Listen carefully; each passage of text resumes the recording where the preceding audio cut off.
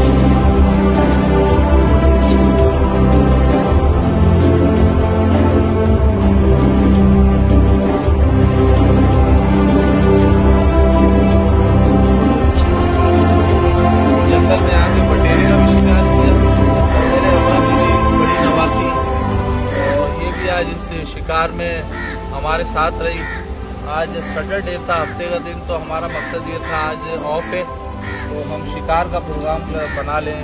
इस जंगल में पहले किसी टाइम पे बहुत बटेरे पाए जाते थे, अब बटेरे कम हैं। तो हमने बटेरों का भी शिकार किया है इस यहाँ पर बनाया भी मछली पीछे वो आप देख सकते हैं, पानी का वो